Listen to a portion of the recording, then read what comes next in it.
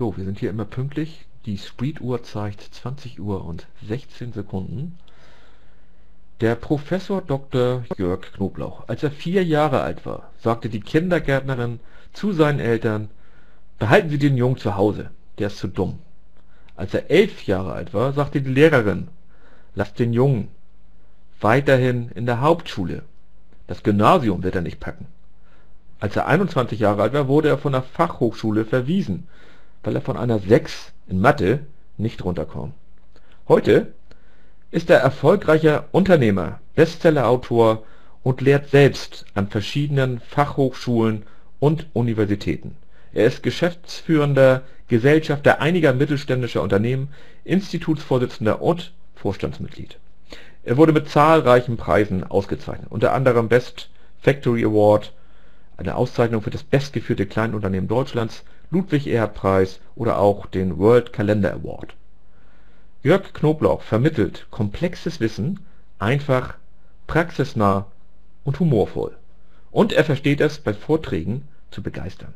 Er ist, wie gesagt, Bestsellerautor mit über 400.000 verkauften Büchern, die mittlerweile in ein Dutzend Sprachen übersetzt sind. Ich habe hier eine außergewöhnliche Jobbeschreibung von ihm gefunden. Kaffee kochen können wir selbst. Wir brauchen auch niemanden, der uns den ganzen Tag nur über die Schulter schaut. Wir bieten Ihnen die Möglichkeit, selbst aktiv zu werden. Und nun wird er bei uns in der Online-Uni 24 aktiv. Hier ist Jörg Knoblauch. Einleitung, die ich je gehört habe. Und ich bin begeistert, dass wir sie aufgezeichnet haben. Herzlichen Dank. Also die Online University ist eine großartige Sache.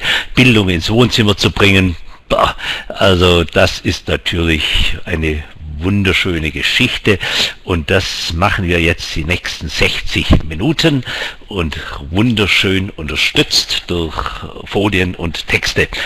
Äh, vorneweg, es gibt einen Horst Opaschowski, das ist ein Zukunftsforscher und der macht im Moment Furore mit der Formel 0,5 mal 2 mal 3 soll heißen, in Zukunft brauchen wir nur noch 0,5, also 50 Prozent der Menschen. Das hat mit Produktivitätsfortschritt was zu tun. Das hat was damit zu tun, dass tja, immer mehr Leute für unsere hochkomplizierte Welt nicht mehr taugen und so weiter und so weiter. So, mal zwei soll heißen, das ist die schöne Botschaft und vor allem an jeden, der hier gerade mitmacht. Sie oder ihr gehört ja nicht zu den 0,5, ihr gehört zu den 2. Mal 2 heißt, die verdienen doppelt so viel. Glückwunsch. Aber die dritte Botschaft, mal 3 heißt, die müssen das Dreifache arbeiten. So, und wer jetzt an einem Abend um 20 Uhr hier sitzt und sich diese mit diesen Themen beschäftigt, also der ist ganz eindeutig auf der Seite, denen es in Zukunft gut geht. Also die Schere von Arm und Reich geht auch in Deutschland auf in einem Tempo, das ist atemberaubend. So, wenn man fragt, was hat Jörg Knoblauch dazu gebracht, die besten Mitarbeiter finden und halten. Ich kann nur sagen, als Chef verschiedener mittelständischer Betriebe. Da sieht man einige der Firmen, die zu uns gehören. Das geht los bei ja, Aufbruch zur Gelassenheit, das ist eine Old Economy Company, da geht es um Zeitplansysteme, dann geht es und so weiter und so weiter bis ganz rechts Persolog, das ist eine Firma in Karlsruhe, die auch etwa 40 Mitarbeiter beschäftigt. Wir haben über die Jahre ganz viele Awards, also Preise bekommen da ist vor allem in der Mitte sieht man diesen 2002 Gewinner des Ludwig-Erhard-Preiswettbewerbs. Das ist der höchste deutsche Unternehmenswettbewerb. So, und das hat uns viele Kunden gebracht im Beratungsbereich. So, und das Schöne ist, auch unsere Kunden bekommen diese Preise, nicht nur wir. Ähm, und das sind ja auch renommierte Firmen. So, Jörg Knoblauch hat, das wurde gerade von Jürgen Frese schon gesagt, eine kleine Leidenschaft und die heißt Bücher schreiben. Also ich habe knapp 30 Bücher geschrieben und die mittlerweile in ein Dutzend Sprachen übersetzt wurden. Ähm, das ist eine wunderschöne Geschichte. So, die selbstständigen Unternehmer, die begrüße ich jetzt mal ganz besonders, die sind dafür zuständig, dass ich mich mit diesem Thema beschäftigt habe. Wer eine Firma gründet, als Existenzgründer, der weiß, äh, der Anfang ist extrem schwer in ja, du hast irgendwann einmal zwei, drei Banken und guckst jeden Tag, wie die Kontostände sind und wo man noch ein bisschen Geld rausholen kann. Aber das hat sich dann bei uns doch geändert und vor ein paar Jahren war ich so weit, dass ich keine Bankschulden mehr hatte. Boah, ist das ein gutes Gefühl. Jetzt, äh, früher musste man den Banker grüßen, jetzt hat sich das rumgedreht, der Banker grüßt mich.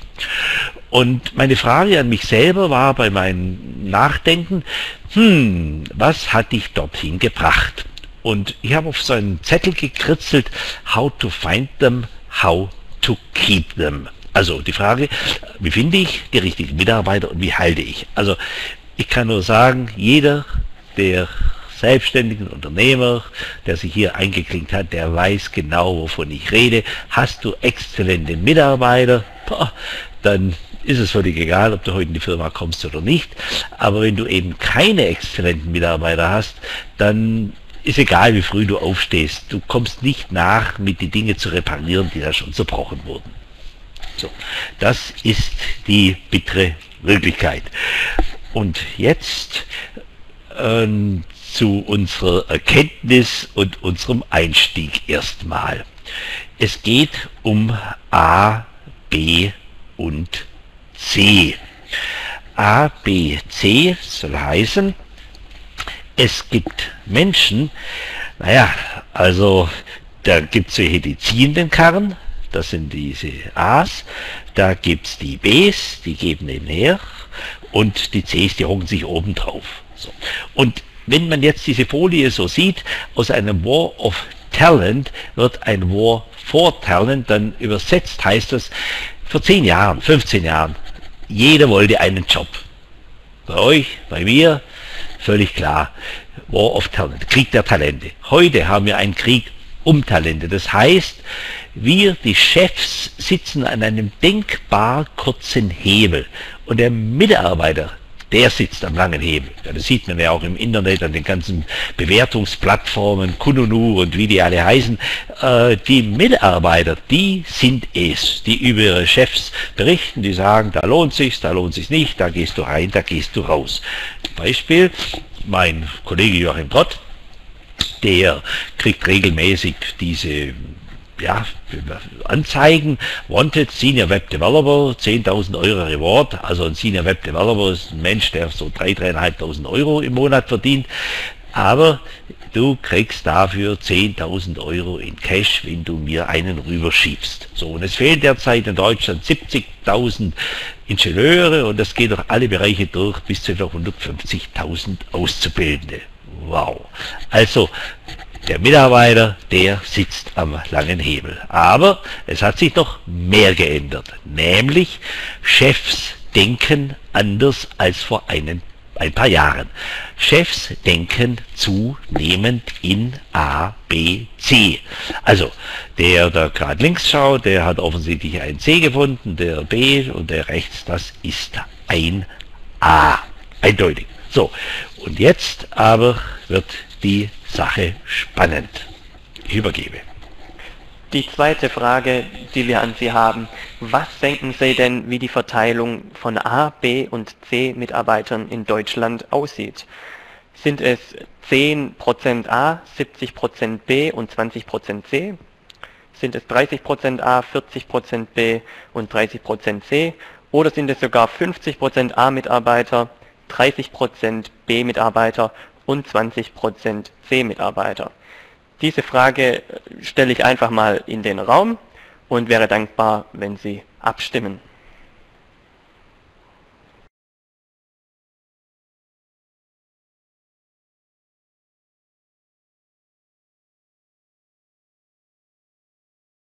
Genau, das Voting läuft. Es sind schon einige Stimmen da. Wenn Sie einfach noch Ihr Kreuz setzen, also 10, 70, 20, 30, 40, 30 oder ist das Verhältnis in Deutschland 50% A, 30% B und 20% A-Mitarbeiter? Ich lasse noch 10 Sekunden das Voting offen und dann gebe ich Ihnen das Ergebnis preis.